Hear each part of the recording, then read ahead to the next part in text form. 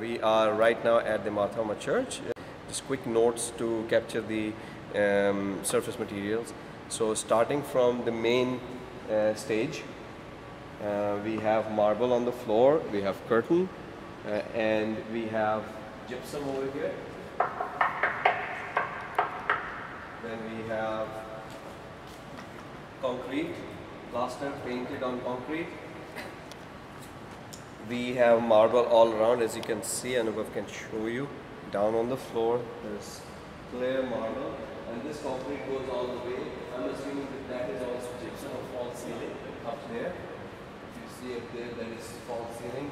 And those grills at, on top, they seem to be some loudspeakers at the back, but we don't know what they are. This is again our uh, wood. Um, all the benches are made of wood. Then we have lots of glass over there. Up there on the balcony, under balcony is again gypsum and uh, uh, some sort of um, low um, acoustic tile maybe? Some, something like that. Yeah and the uh, border is gypsum and in between the, those are acoustic tiles. Yeah. And uh, front I think is concrete again. Yeah okay. So uh, Anandya will just walk you through what we were doing the RT60 of uh, this ac- acoustic uh, what we have done is we have used a, a ControlSpace processor and along with that we have connected a CS64 and uh, we have uh, run bursts of pink noise uh, to the amplifiers and through the amplifiers we are feeding to three 802s uh, that you will see there. To uh, excite the this acoustic we have used three 802s there and uh, it's firing in three different directions one to the top and uh, one to the left and the right. This is just uh, this doesn't have any other significance but just to uh, excite the whole uh, place properly. And we also have a MB24 subwoofer to provide the low low frequencies. And uh, we are using the uh, 802s in high frequency mode and the MB24 for the lower frequencies.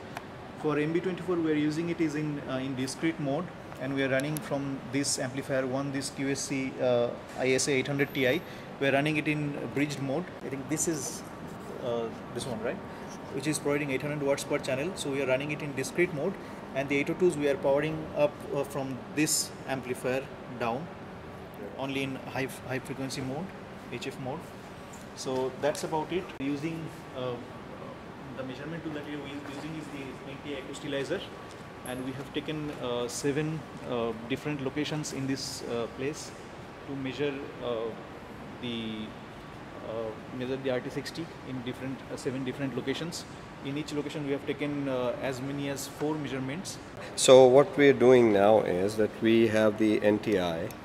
It has a calibrated microphone and the way it is done is that first of all we go into the menu okay and we select the range. So this range actually helps us to identify the low and the higher level of the noise area. So at this moment as you can see the noise is kind of moving back and forth. You can see the bars moving back and forth. So I'm going to stop now and activate this arm this and let it identify what the noise level of the room is for each of the frequencies in octave one third octave band.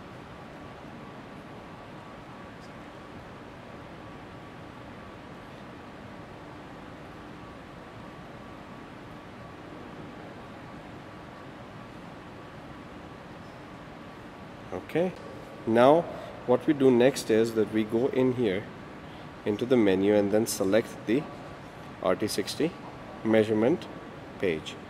In this measurement page we go back and just arm the unit from over here and then wait for the noise burst. And once the noise burst comes in you get all the measurements done here.